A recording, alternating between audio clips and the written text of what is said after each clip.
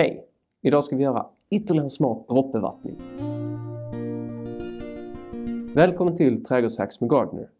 Jag har gjort droppbevattning av en bag-in-box, jag har gjort droppbevattning av en topp som petflaska och nu har turen kommit till en sån här squeezy syltflaska. De är nämligen perfekt till det här. I botten så gör man liksom ett litet hål med en varm spik och sen kan man ställa in här hur mycket det ska droppa.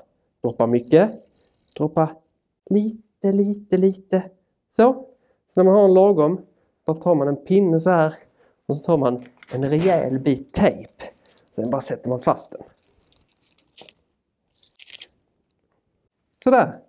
Sen kan den stå och droppa där lite och fukta upp det här fina olivträdet som verkar ha klarat vintern så det kommer igång igen. Lycka till!